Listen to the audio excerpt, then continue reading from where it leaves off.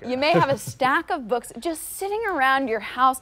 You don't think that you can part with them, but all they're doing is collecting dust and taking up space. It's time to upcycle them and turn them into home decor. Yeah, that's right. We have Amy Hodapp from Pinspire, who is here to show us how a few folds can upcycle a book into something you can display in a really different way. Uh, first off, I was not expecting uh, this. I thought we were going to do some some different like artwork with it or involving something different. But then I walked in and saw these. Look at these. These are phenomenal.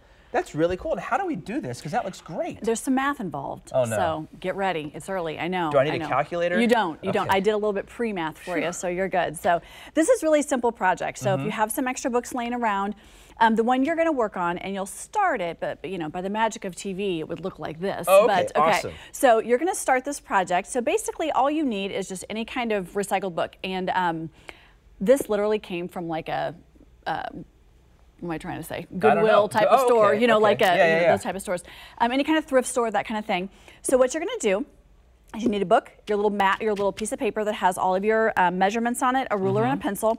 They have a lot of free things online. Like Pinterest has a lot of just like Oh, okay. patterns that you can also get. You can buy some off Etsy if you get really, you know, creative and If crafty If I were to want to search for this project on Pinterest or Etsy, what, what's you it can just, called? I just put in free heart book folding.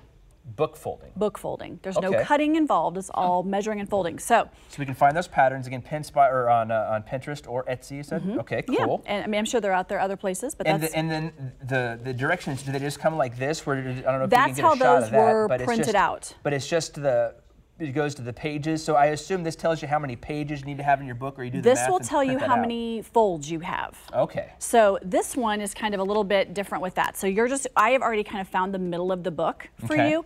So what you would normally do is take the total number of pages, find the middle, and then count back half of your pages. So you have 40. Okay. So you'd count back 20. So, So a I, little I bit of prep saved you. I saved you. There you go. So you're right there. This is our middle. Yep. You're going to put the spine of the book toward your stomach. Okay. And then what you're going to do is you're going to use the centimeter side of the ruler. So you're not going to use the inch side. Oh, I only work in uh, inches. Well, you're going to have to worry about centimeters today. So you can do one of two things. If you silly metric system. Right. if you line this up with the edge of the book. Okay. So what you're going to do is you're going to have your pencil and your Okay. this is going to be your page 1. So this is kind of where and if you want to always make a mark, I kind of put a little mark outside that's page 107 just so I remember here. Oh, okay. 107. There you go. All right. Okay. So you're going to take the the ruler and Uh-huh. you're going to measure 7.7. So you got to have really good eyes. No. Yes. mark one little 7.7. slash. Okay. And then you're going to mark 8.9 on the same page. I can do that. There we go. okay? And then you're actually gonna move to the next page.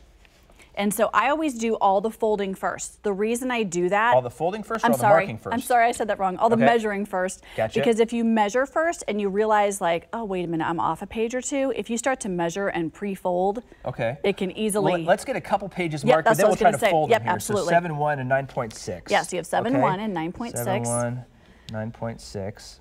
It's a good activity to keep everybody busy in Yes. the summer. okay, so let's just pretend we've got those those folded now. So Okay. now, how do we go about folding So here? what you're going to do is you're going to find your measurement here, Mm-hmm. and then I always line up the page just so it kind of goes straight. Oh, so it's always going to be like a 45 degree yeah, fold so 45 like degree fold. and then one like over here. Yeah, so you're going to just Oh, kind of okay. scoot that over a little. There you go. I, the fold was like a pre-fold somehow. That was because you were marking that. I was trying to mark it for you. so then, once we make all of these folds, what we'll end up with is our heart fold over here, right? Yep, the heart fold over there. Yeah. And that's just a really cool way to. I mean, that's just really unique. I never thought it was anything. We done we've done artwork with books before where we've actually cut out Yep. pages and put pictures in it and everything. But something like this where we don't destroy the book at all. I like that. I'm, I'm an avid reader. Yeah. And I like to know that I'm not destroying the book. So if you really wanted to read it, you could. And Even they can get a lot more elaborate. even though we're kind of just upcycling it, you know. Yeah. But uh, all right, well, Amy, thank you very much for being here. That's a really f- cool, fun project. Something Make the it kids can more complicated if you want to get more complicated. okay, what's this This one real one's quick? the No, no, ohm no. symbol. There you go. Like a, yeah. All right.